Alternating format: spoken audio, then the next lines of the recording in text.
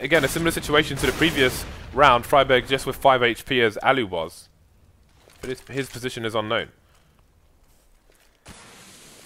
So, what is Orkix going to do? Look at the name of his gun.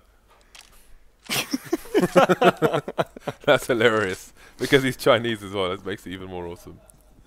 Alright, so Friberg will use the smoke that uh, Orkix threw down to get behind the bench area. And uh, as long as he doesn't push forward, then it could be his round. Been spotted, but Friberg will find a frag regardless. 16 to 4 in favour